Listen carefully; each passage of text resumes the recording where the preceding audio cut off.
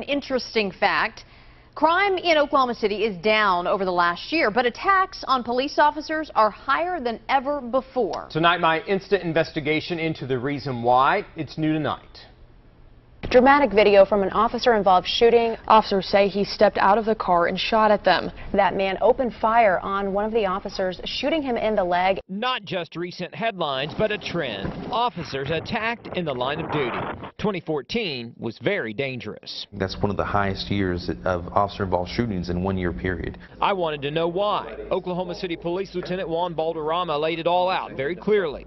One reason? More guns being available, readily available, stolen guns that are rolling around on the streets. Guns that are then traded for drugs or money. Every single night we're going to recover a gun from somebody, and a lot of times it's going to be from a convicted felon who should never have that gun. And guns from burglaries right out of our houses. Guns, electronics, um, things like that. I mean, that's what they're looking for. The other reason? Disrespect. You know, if they say hands up or get out of the vehicle, you don't have to, you know, uh, uh, follow their orders, and, and quite frankly, that's wrong. Now, officers tell us one of the important parts of their training is how to react in any situation.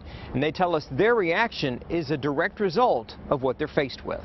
They're in control of what level of force is used against them. In Oklahoma City, police say most everyone respects them, but when they aren't respected, it's dangerous. Prime example, just Friday night, 12th and Blackwelder. Friday night, there was an officer-involved shooting. That gun was stolen.